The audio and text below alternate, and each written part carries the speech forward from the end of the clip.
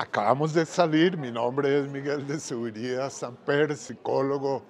Acabamos de salir de una interesante conferencia sobre cómo medir las felicidades de nuestros estudiantes, que me deja a mí una reflexión básica y es que la tarea de la educación, más que cualquier otra, pienso yo, consiste en aprender a cuidarnos a nosotros mismos. Sócrates había hablado de conócete, sí, totalmente de acuerdo. Conocernos es fundamental.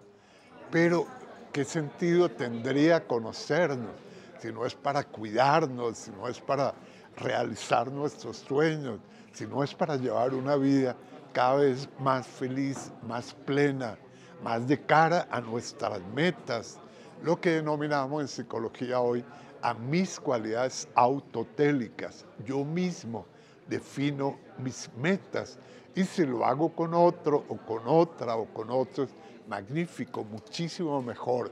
Tenemos que volver a poner en el centro de la educación al ser humano, sería mi conclusión.